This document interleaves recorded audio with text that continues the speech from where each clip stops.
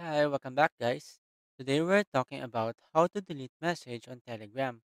Perhaps you want to remove unwanted or inappropriate messages from conversation that you have sent in error or you have sent to the wrong person. So today I'm going to show you how to delete message on Telegram. Check video description and I will try to leave the written instructions. So let's start. First, open the Telegram application. And here, go to the chat where the message you want to delete is located. For example, I want to remove a message from this conversation, so I will open this chat. In this window, simply locate and long press on the message that you want to delete until a menu appears at the top. From this menu, tap on this delete icon located at the top right corner of the screen. After that, you will be asked to confirm if you really want to delete the message. Simply tap on this delete option to confirm it.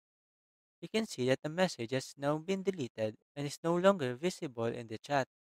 It is important to note that deleting a message on Telegram will only remove it from your device and the devices from other participants in the chat.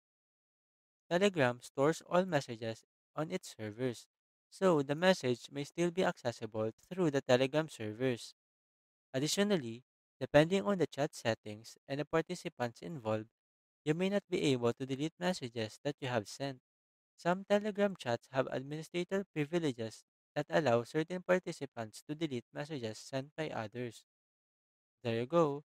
If you wanted to know how to delete message on Telegram, that is the easiest way I know how. If you know another way to delete messages on Telegram, leave a comment below. Also, be sure to subscribe for more videos.